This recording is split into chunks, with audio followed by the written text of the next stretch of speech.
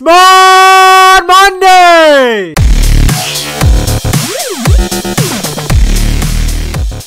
Hey guys, it is Stevay124 here. I, this is going to be a little different than the usual Beast Mode Monday. I had a really good game yesterday and I didn't have I didn't have time to make a video today.